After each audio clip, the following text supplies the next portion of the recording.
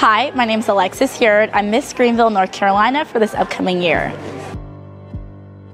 So I moved to Greenville about 10 years ago when I was just a freshman in high school. I went to John Paul Catholic High School. That's where I went freshman year and I graduated. It was a wonderful and enriching experience and Greenville has given me so much since I moved here and what better way to give back than to have this title and just do so many amazing things for our wonderful town.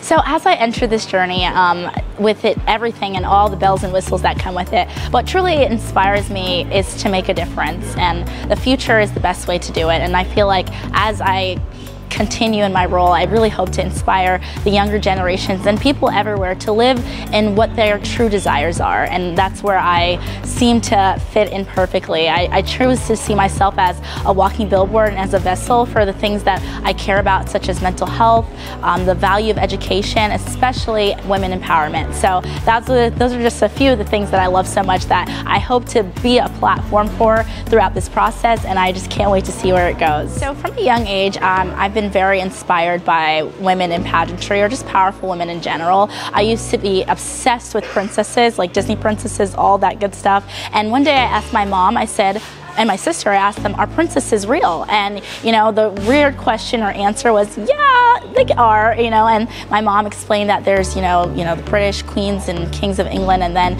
my sister went to explain pageantry, and that was one of the first years I watched the Miss Universe pageant, and it truly inspired me. I've always been a spectator of watching these women accomplish such amazing things and using their beautiful face as just a means for people to understand their causes, and I thought to myself, why, why shouldn't I do that? Why wouldn't I see that for myself? So along the way of being inspired, I realized that this is something that I can do. I can actually, you know, focus on who I am, graduate school, and really invest in myself as a person and just be the best version of myself. I'll be competing at the North Carolina USA State Pageant in February, the weekend of the 23rd through the 24th. I'm so excited. I've been just doing whatever I can to prepare for the portions of the competition, such as evening gown, then there's the swimwear, as well as the interview portion, which is a huge part that really shows me how I can connect with people and the lovely world around us. But through that, um, there will be different ways that you all can support me. Um, first, when I get to the pageant, there will be a People's Choice, which I will let everyone know when that is time. But in the meantime,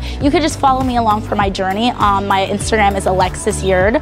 Um, it's my first and last name. Well, I would like to thank you, Kate, for taking the time to interview me along this journey, which is going to be a long but beautifully empowering. And to anyone who's out there, I truly hope that the message of inspiration sticks with you, that you truly find value in who you are and that you really have the power to change your circumstances. And I hope today that I can inspire you just that much.